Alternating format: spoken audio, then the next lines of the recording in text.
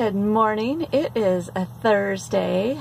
The last shower I've had was in Buckeye on Saturday, and so I think it's time to go for a swim today.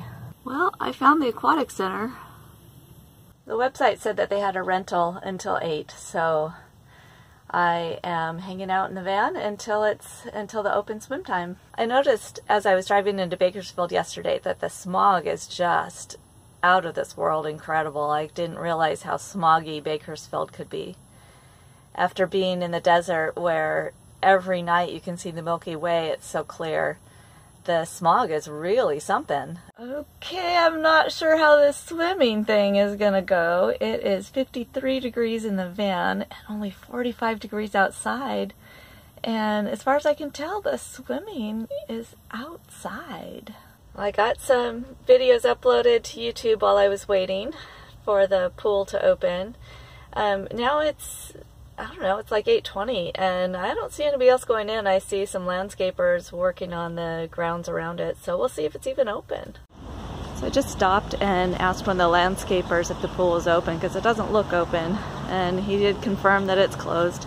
I'm gonna see if I can take a shower anyway who knows? It's worth asking. I totally read the schedule wrong. Their, um, their actual schedule had the dates from August through October, so I didn't even click on that.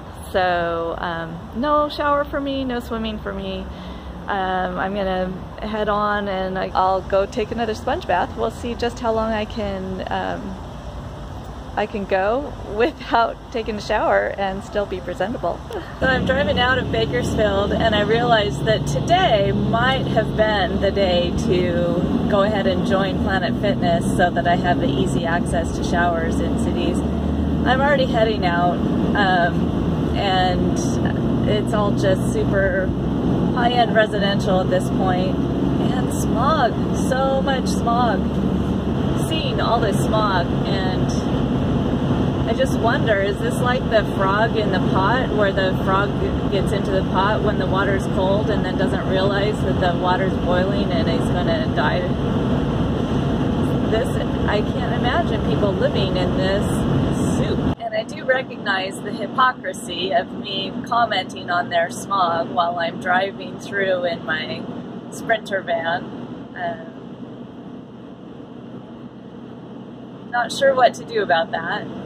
Uh, at least it's a new, it's a newer vehicle, and so it handles the exhaust.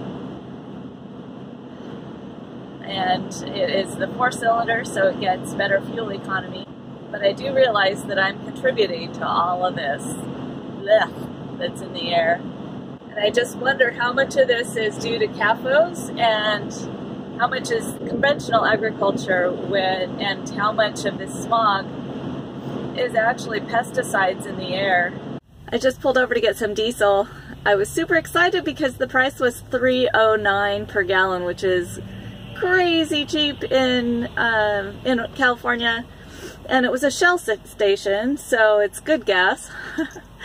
no, it's B20 and I can't do B20. I have to do diesel number two. And so here I am at the next next door at the Chevron for 3.79 a gallon. It's more than a dollar a gallon more than it was in Arizona. I think I was paying 249 or 245 in Arizona.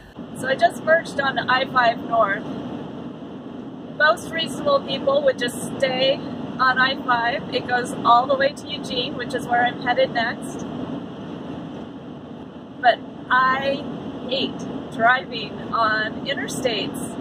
It feels so competitive to me you're always jockeying for position and it doesn't go through very interesting places. And if I were to take I-5 north all the way to Eugene, I'd be hitting some passes and I do not want to hit the passes. So what I'm going to do is get off at the at the next highway, Highway 58, go west, and then skirt up the coast so that I can avoid the major passes there's going to be one pass that I'm going to have to go over um, to get from the coast to Eugene, but the coast range isn't as hard. If there is a snow event, I'll be able to avoid that completely um, by just staying on the coast side until the event is over. And then I get into McKittrick and it's all oil refineries and tanks and uh, pumps. I actually just passed a set of crude oil tanks just sitting there. It is really, really pretty out here. And it's so quiet. There's just nobody out here. There's a few houses, a few ranches, um, but really nothing. I can actually hear birds flying. From here you can see the smog where I was coming from. Now this is definitely not I-5.